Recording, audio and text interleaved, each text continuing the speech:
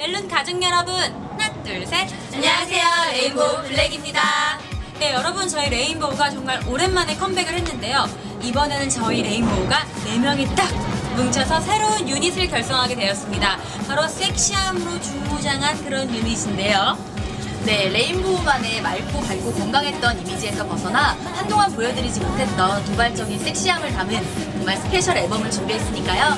또 많이 기대해 주시고요. 스페셜 앨범이니만큼 유명한 작곡가, 작사가님들이 참여해 주셨으니까요. 기대 많이 해주세요. 네, 특히 이번 저희 타이틀곡 차차는 윤상 선배님께서 작곡해 주신 곡으로 세련되고 팝적인 리듬과 섹시하지만 펑키한 댄스 요소들이 가미된 아주 아주 섹시하고 매력적인 곡이니까 많이 들어봐 주시고 많이 많이 사랑해 주세요. 네, 저희 레인보우 또 다른 매력으로 나왔으니까요. 많은 관심 부탁드리고 저희 타이틀곡 차차도 많이 사랑해 주세요.